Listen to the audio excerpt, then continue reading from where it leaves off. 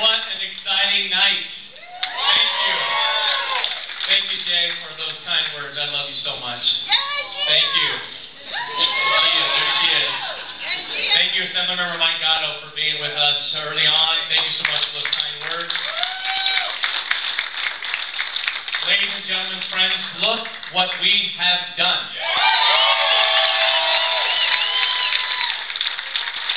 Just six months ago, they said, oh, Joe, he's too young.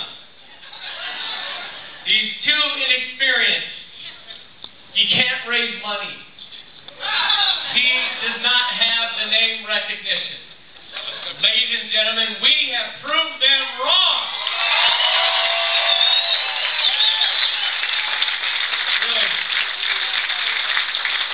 From the bottom of my heart and on behalf of my family, thank you so much. Um, you being here makes it all that special, so thank you so much. Over 40 years ago, my mom and dad immigrated here from Italy, and all the places, out of all the places of this great country, they decided to land here in San Pedro as their home, and I'm so glad that they did. This is a place where families come first, where friendships last a lifetime, where faith is real and respected, and where my dreams have come true. So, Mom and Dad, thank you so much for instilling me, instilling in me the values that have helped me, the man who I am today, and the public servant I will be. I love you both, Mom and Dad. Thank you. And as you can tell, joining me on, joining my parents on stage are my in-laws, my sisters, my brothers and sisters-in-laws, my nieces and nephews. They have me since day one, and for that I'm truly blessed and grateful for each and every one of you. I love you. And of course, my 91-year-old grandmother.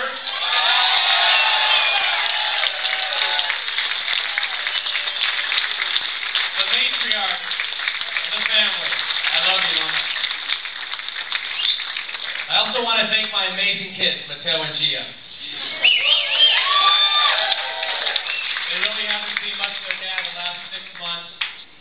Greatest part of every day is when I come home to both of you. So I love you so much. And then to my loving wife, Jay, who's the rock and the true love of my life. You want my flower?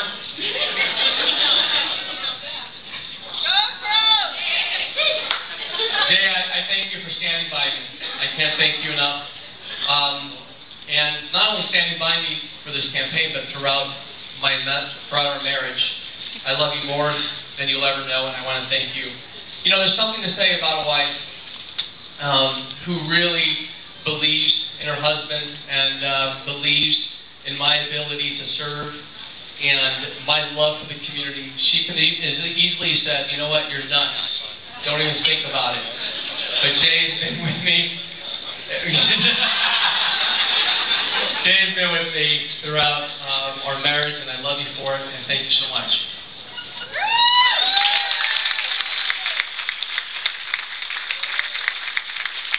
Also, my campaign team. Let's give them a round of applause. You know, amazing.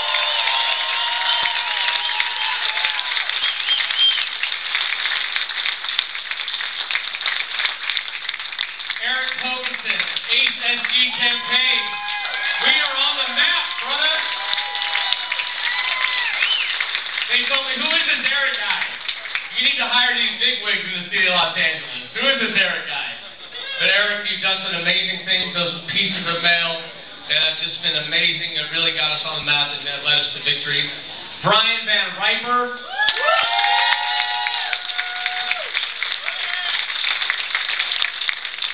Brian has done an amazing field campaign. Again, Brian, we're kind of like the under 40 club here. And uh, Brian, thanks for your commitment. Uh, you've done some great work and uh, led us to victory. Also, my campaign manager. My uh, my body guy. I guess there's a body guy involved in politics. I don't know. But my shadow, Kevin Bingham, my campaign coordinator.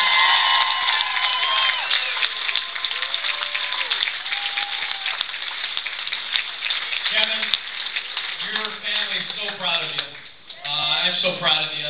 Obviously, we've adopted Kevin as part of our family. And Kevin's got a great story. He's uh, never given up in life, and uh, he went to college, Gonzaga, international studies, and he just, just whatever it takes, he says, whatever it takes to win this. So, Kevin, I want to thank you. I love you for being with us. My treasurer, my Jason Rackman. Yeah, Jason. We sat down in June, and he said, "You know what? You're going to win this." I go, "I don't know, Jason. We got to, we got to raise some money." And he said, "You know, you have 525 people at your wedding. Call them up for 500 dollars each." Thanks, Jason. for leading us on. Our volunteer coordinator, Gabriela Medina. Gabby. Where are you at? Gabby. You know, Gabby ran the teen program in our local YWCA, and because of lack of funding, they let her go. Um, but fortunately for us, she came on board, and you all know Gabby. You had such uh, an amazing uh, relationship with her, and she continued to push you through those doors, picking up the phone, knocking on doors. Thanks so much, Gabby. We love you.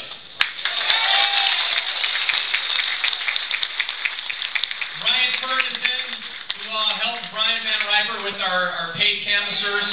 Brian, thank you so much. You're an amazing young man. And again, you believe in this campaign. You believe in our message. How about our paid canvassers? Where are our paid canvassers? Raise your hand. I know you're here. Thanks so much. We love you.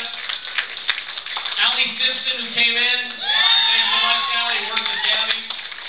My, my fundraiser, Megan Agostiu, who uh, really pushed me forward. You know, I can only go so much, so many times asking my friends and family for money and uh, for the contributions. But we're really proud that most of our contributions came from this district.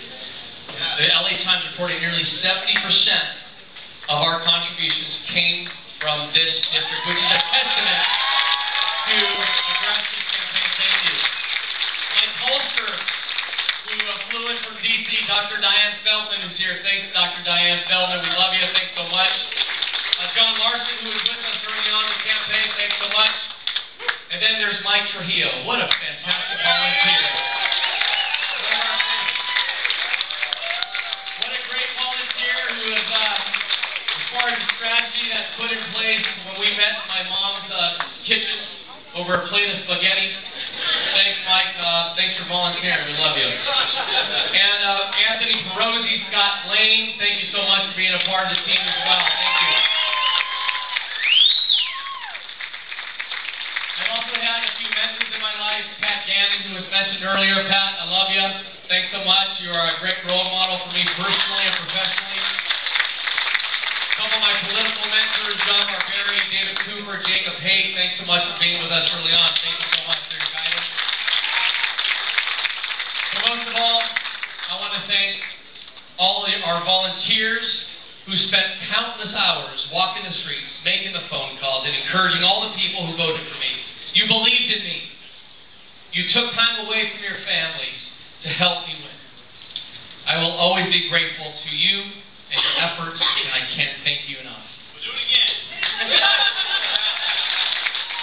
I want to thank my opponent, Assemblymember Warren Furutani. Let's give him a round of applause.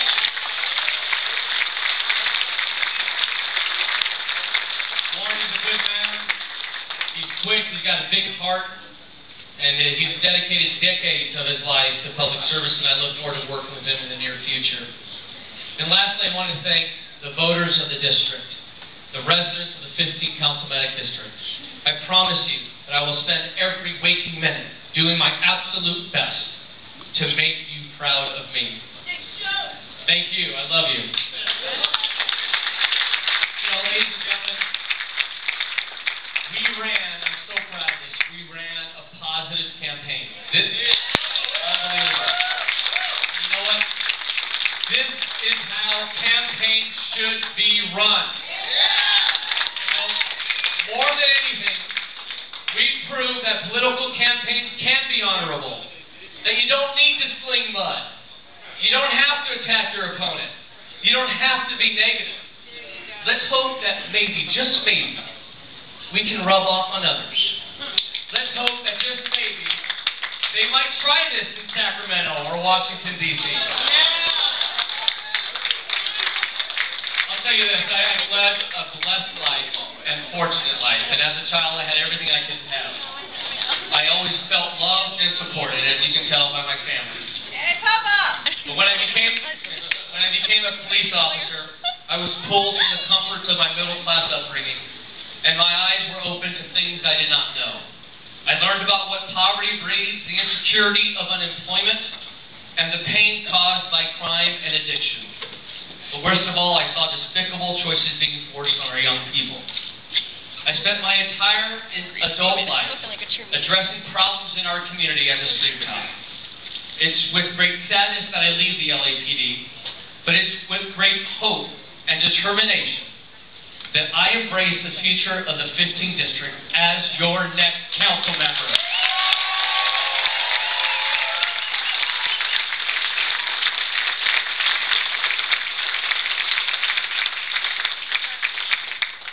This was a, a true community-based campaign. We won with a community message.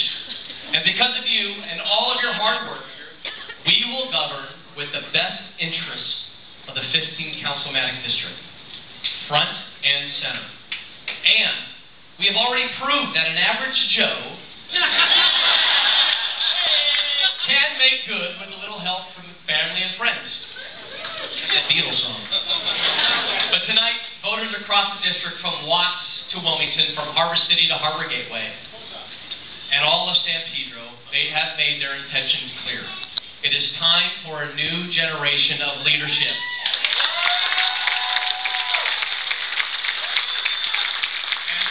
Be assured, be assured that I intend to lead. It is time that we work with the Port of Los Angeles to bring forth dynamic waterfront development to bring the city to the sea and the sea to the city. So that the great amenities of modern commercial and retail life exist right here in our district.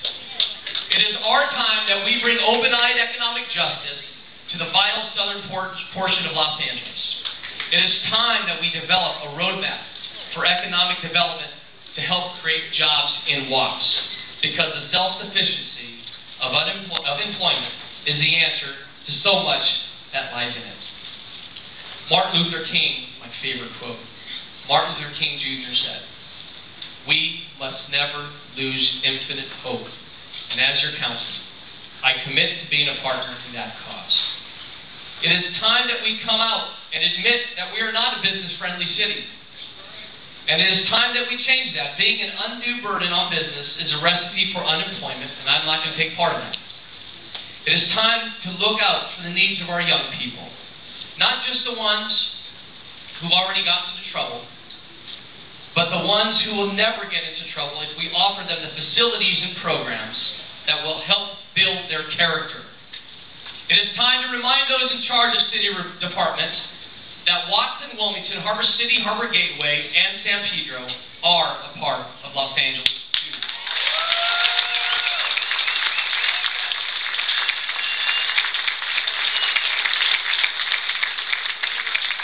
it's time that we, that, to redouble our efforts to keep our residents safe and out of harm's way, and to make sure that we have a public safety budget that accomplishes just that. And my friends, because you believe in this campaign, we've shaken the powers that be at City Hall. Haven't we? We have accomplished what few thought was possible. What few thought was possible.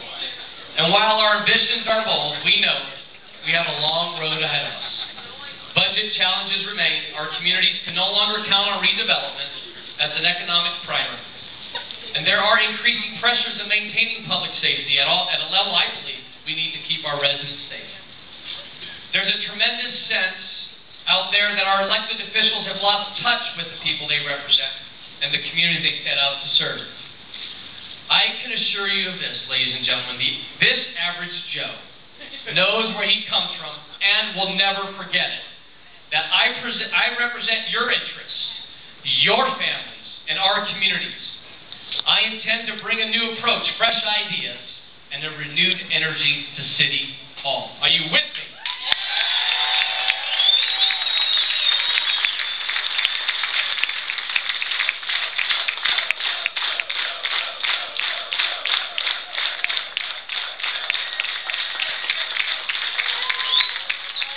I won't bide my time in office. I will not simply try to manage our affairs.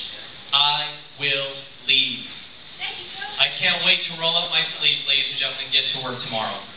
With your help and with God's blessing, I know we will be successful.